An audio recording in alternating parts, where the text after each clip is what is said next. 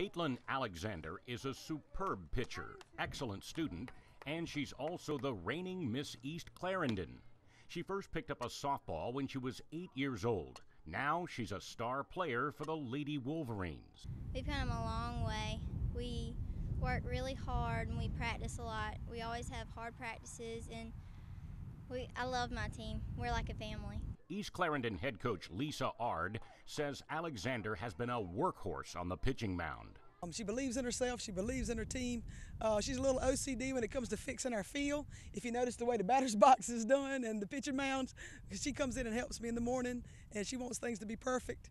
And uh, she loves her team. East Clarendon catcher Jordan Evans has this to say about Kaitlin's lighter side. So we're warming up, and we're right over here. And Kaitlin is pitching, and she goes to throw a changeup, and she threw it all the way over the dugout. It was hilarious. And she got really mad at me because I laughed, but it was really, really funny.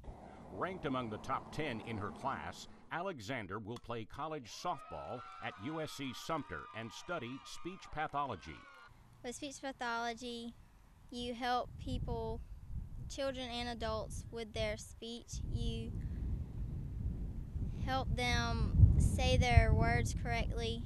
My hopes and dreams, I guess, to get a good job. In Turbyville, Mark Haggard, News Channel 15 Sports.